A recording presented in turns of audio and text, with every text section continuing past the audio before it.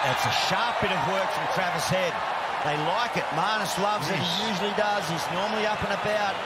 But it was a desperate lunge from Hodge to get back. And have a look upstairs. Kaz.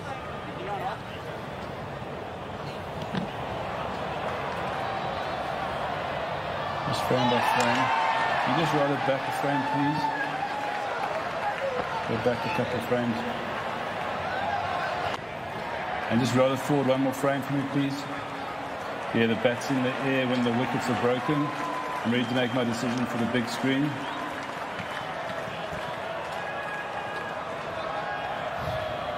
Big, big moment in this test match, perhaps pivotal.